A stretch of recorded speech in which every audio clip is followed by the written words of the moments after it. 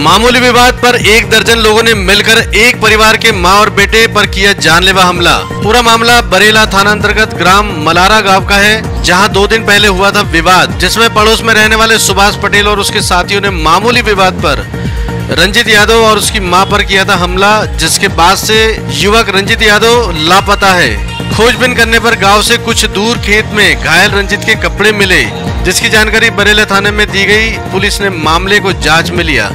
सिटीएन भारत से शोभित गारू की रिपोर्ट जबलपुर।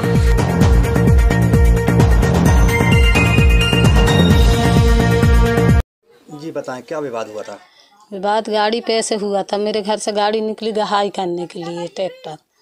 और मेरे लड़का ने जैसे ट्रैक्टर निकाला वहाँ से सुभाष की औरत आ रही थी। सुभाष चिल्ला था मेरी औरत को मार डालेगा। तो सुभाष ने जैसे आवाज़ दी तो उसने गाड़ी रोक ली। मेरे लड़के के चढ़ के थे दस लड़कों ने संगार के गाड़ी से अंदर मारा। वहाँ से घसीट के मैंने बोली कि, का दस दस लड़का प्राण ले ले हो। तो इनने मेरे को भी मारा तो मैं वहीं बेहोश हो गई। फिर मैंने नहीं देखो कि मेरे लड़का को ही डाला है कि मैं डाली हूँ।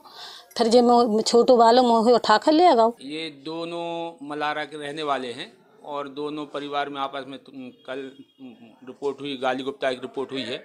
एक दूसरे गाली गुप्तार किए हैं। अब इनका कहना है कि जिस दिन गाली गुप्तार के बाद से वो लड़का आया नहीं घर तो उसी में गुम इंसान कायम किया गया है उसको तलाश करते हैं कैसा क्या मामला है उसकी उस हिसाब से कार्रवाई की जाएगी। अभी गुम इंसान कायम किया गया उसकी तलाश जारी है। सर ये कुछ उसके कपड़े खेत वगैरह मिले हैं उसके में क्या कहना है? नहीं, अब वो देखते हैं उस जाँच पे क्या है क्या नहीं है।